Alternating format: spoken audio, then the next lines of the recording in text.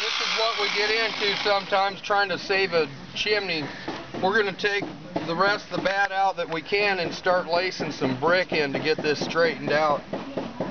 And uh, we'll have this done today.